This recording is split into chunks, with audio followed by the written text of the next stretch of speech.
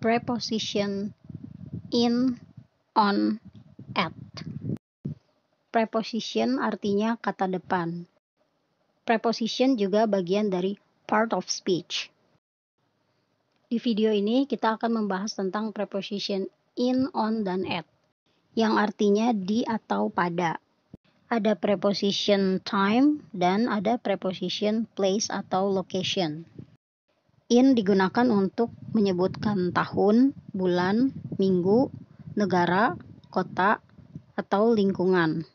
Sedangkan on digunakan untuk hari, mingguan, nama jalan, dan at digunakan untuk jam, alamat, dan tempat yang lebih spesifik atau khusus.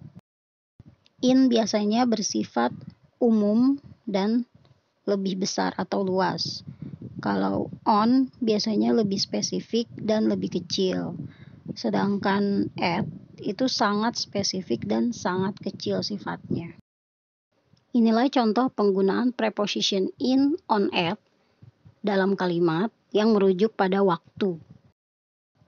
I will visit him in March.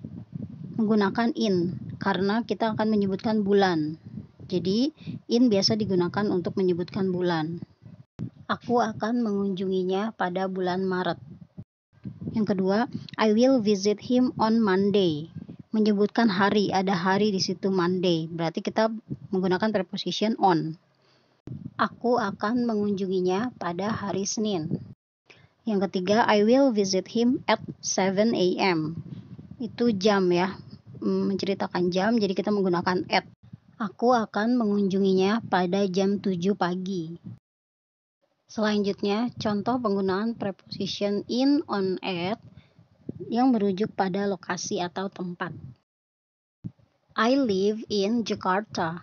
Saya tinggal di Jakarta. Menggunakan preposition in karena Jakarta itu sangat luas ya. Yang kedua, I live on Sudirman Street. Saya tinggal di Jalan Sudirman.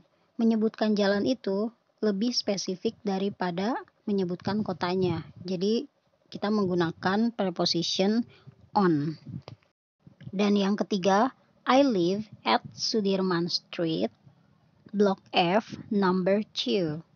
Saya tinggal di Jalan Sudirman, Blok F, nomor 2. Lebih spesifik lagi karena menyebutkan nomor di situ. Sehingga kita menggunakan preposition at.